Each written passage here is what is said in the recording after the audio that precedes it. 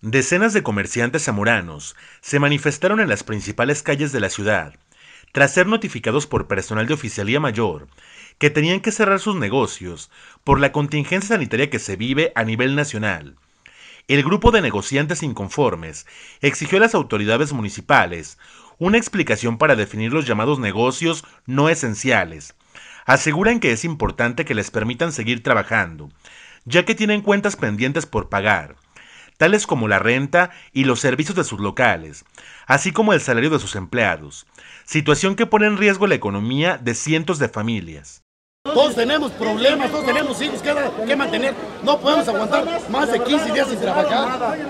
No tenemos más Lo que queremos es que nos sigan. Si de aquí a 8, 7 días vamos a trabajar. Eso es lo que queremos nomás. Porque ahí no, no, no, no nos resolvieron absolutamente nada. En la Cámara Alejandro Mendoza, para Mega Noticias informó José Asensio.